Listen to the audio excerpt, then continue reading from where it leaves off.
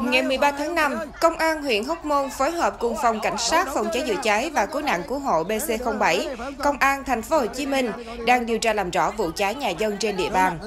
Trước đó khoảng 4 giờ cùng ngày, lửa bùng cháy ở căn nhà trên đường Hậu Lân 4, ấp Hậu Lân, xã Bà Điểm, huyện Hóc Môn, thành phố Hồ Chí Minh.